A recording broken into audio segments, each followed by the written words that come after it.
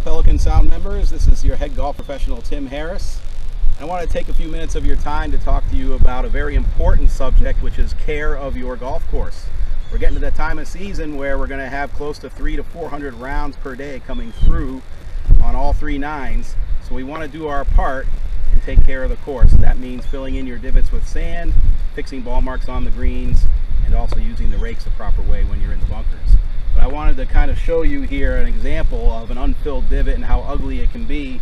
We have uh, out here on river number two, it took a ride out here and I found a few uh, unfilled divots. So that's going to create problems later on because the grass grows horizontally with Bermuda grass and if there's a depression and there's no sand to fill it in, it's going to leave a little depression and it's not going to be a good playing surface for you. So real quickly I'm going to show you how to fill in a divot correctly. The sand is provided on your golf cart. Get a scoop of sand and, and spread it into the divot evenly so that the top of the sand is equal to the layer of the grass. And then you can kind of smooth it out with either your foot or the scoop that you have. It leaves a nice level surface there with the sand and then the grass grows over the top of the sand. It will come in a lot nicer for a level playing surface. So very important to please, please, please fix your divots when you're out there on the golf course. Well, we just hit a shot from the sand and proper etiquette is going to require that we fix the surface with the rake provided in the sand traps, smooth it over any divots that have taken or any footprints that are left so that the golfers behind us have a nice playing surface just like you did when you, before you hit your ball in the bunker. So here's the divot I took after taking the shot.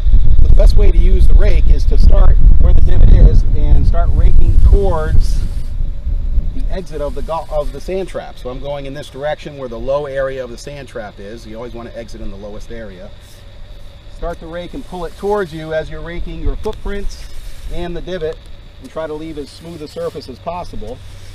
And then on the last few strokes of the rake, I'm going to be outside the, rake, uh, the bunker pulling the sand towards me.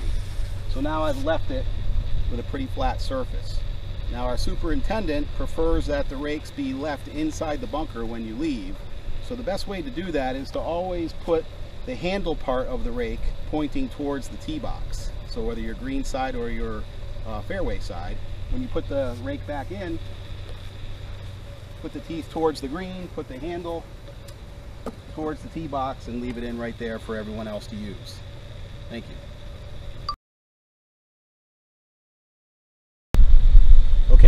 Reached the green and it's time to fix any ball marks that are left on the green from your approach shots. Um, as you can see, we have a ball mark right here. Uh, I always like to use the divot tool that has a couple of prongs on it, something that's very simple to use, you can keep in your pocket, uh, so it's ready to use when you get to the green. But the proper way to fix these ball marks is to always feel as though the prongs are going to enter in at an angle. So if you look at the uh, pitch mark that's left here, you have a high point right in the top of the, uh, the pitch mark that was left from the ball. So I'm going to stick the divot tool in diagonally in front of it and I'm going to push towards the center of the pitch mark.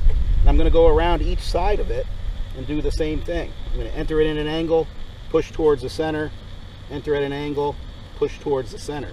So you can see the whole thing is raised now. So all the grass has been raised by me pushing towards the center. Definitely not pulling down or pushing down away from the center because then that tears the roots of the grass. So now we have a raised uh, grass right here from me pushing towards the center. You can use a putter head to tap it down or just use your foot, tap it down, and it smooths out the surface. A good rule of thumb is to always look around, not only fix your own ball mark or pitch mark, but look around and see if there's others that for some reason have not been repaired properly. I have another one right here next to me, so I'm going to take care of my pitch mark and I'm going to take care of another one while I'm here on the green. So I'm going to do the same thing, approach it from the sides, push towards the center, it raises it up, and then we're going to step on it and we're going to smooth out the surface. When you don't repair a pitch mark properly, you might see some unsightly yellow marks on the green.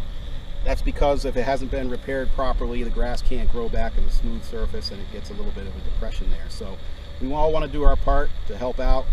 Please uh, fill in your divots, fix your uh, pitch marks when you're on the green. Handicap cart drivers You'll notice that my cart here has a yellow handicap flag.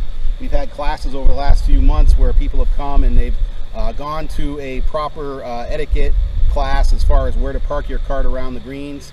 You'll see these blue discs around the edges of the greens. We're over here by river hole number two.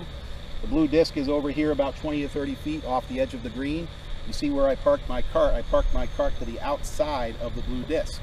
So as I came up approached the green, I have a flag on my cart. It tells me that I'm allowed to come out here as long as I do not park on this side of the blue disc, which is closer to the green.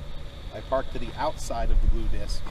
And then it tells you how you can park your cart just by following where the blue discs are. So the people who have taken my class have gotten a booklet um, that tells them where the blue discs are on every hole. If you do require a handicap flag, all I ask from you is a doctor's note and then come see me if you haven't already and I can give you one of those booklets. So it's just things that we can do to help take care of our own golf course. It's your golf course, take some pride in it. Make sure that you leave it in as good a condition before you play it as when after you play it. All right, so again, folks, thanks again. It's going to be a busy season. Hopefully this helps you out. We are planning to do some more divot parties in the future, so look for uh, some notification on that. I think we're going to try to plan one at the end of January where we can get everybody together and maybe start filling in divots on one course that we close down late in the afternoon. So look for that, and if you have any questions, you can always come and see me. Uh, my door is always open. Thanks, Pelican Sound. Looking forward to a great season.